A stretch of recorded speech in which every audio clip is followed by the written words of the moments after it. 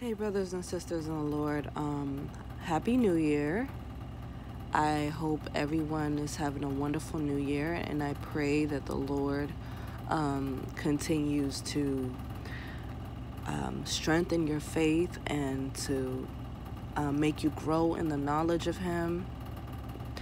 Um, and I pray that He gives you the desires of your heart. But I just wanted to make this quick video. um, I've been saying this often these days, more these days, and um, it's nothing new. It's it's people saying that grace is a license to sin, and um, I got told that I um, didn't teach the fear of the Lord. Okay, first of all, you see, even Paul talked about how if he was a law preacher, then people would have esteemed him more. Okay? But the fact that, you know, we preach grace, it repels a lot of people, um, self righteous people. They don't like that. They think that we're teaching them that they could just go out and do whatever the hell they want to do.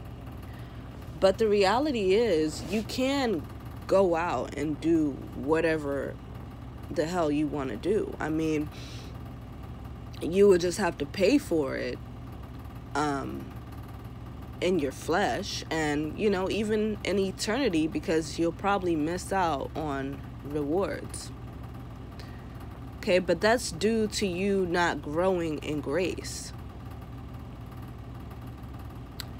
Um, that has nothing to do with the fact that you have grace. I mean, you're supposed to grow in it.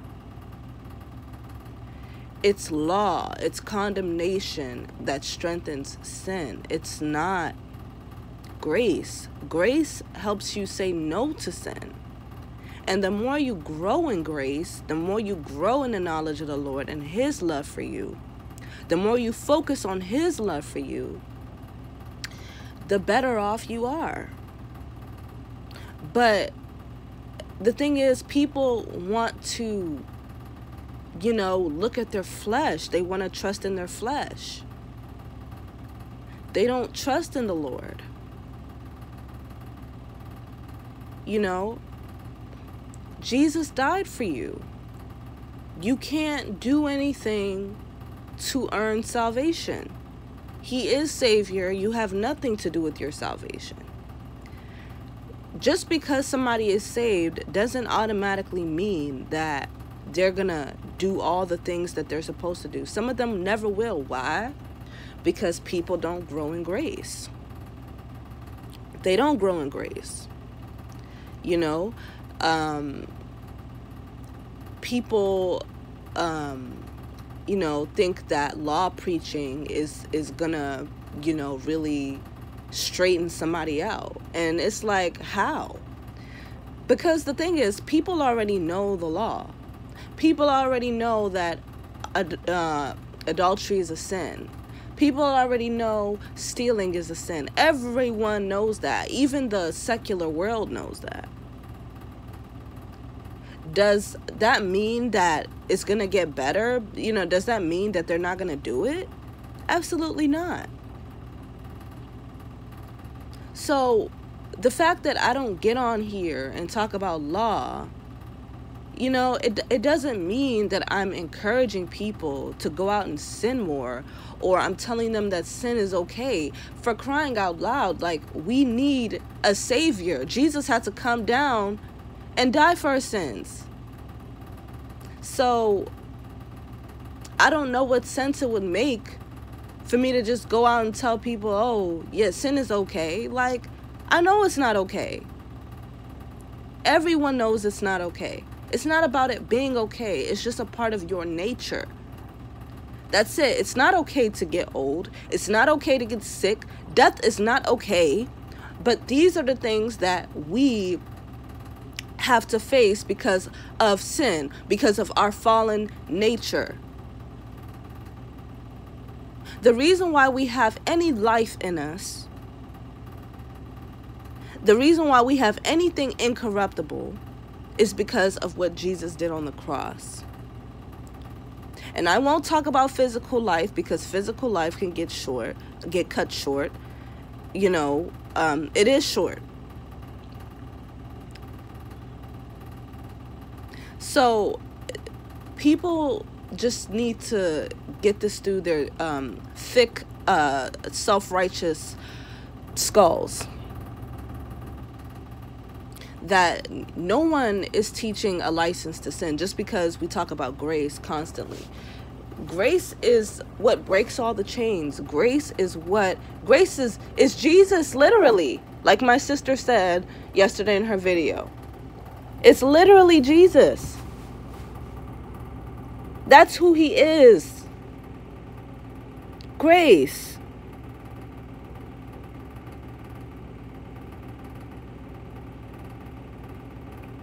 He died for the thieves. He died for the prostitutes. He died for the strippers, drug dealers, junkies. He died for all of them. Regardless if they stay in that state or they change, his blood is still sufficient. His grace is sufficient. He alone is sufficient. You don't need law.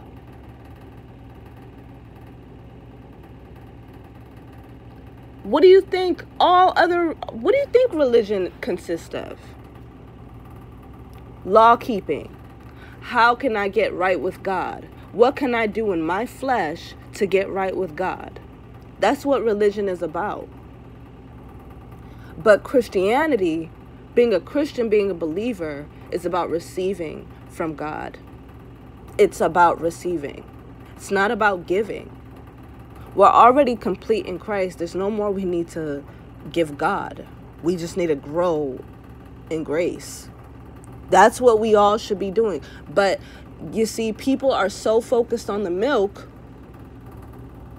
you know, and they and they think they can move on to the meat, but they can't because they're not really, you know, they're not really. Um, I'm sorry if I said that wrong, but people people haven't grown in the milk, therefore they can't move on to the meat.